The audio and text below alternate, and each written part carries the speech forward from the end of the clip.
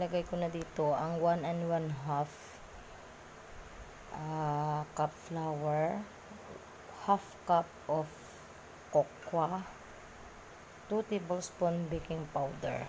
Ayan, nilagay ko na siya dito guys. Hindi ko nakuha na ng video.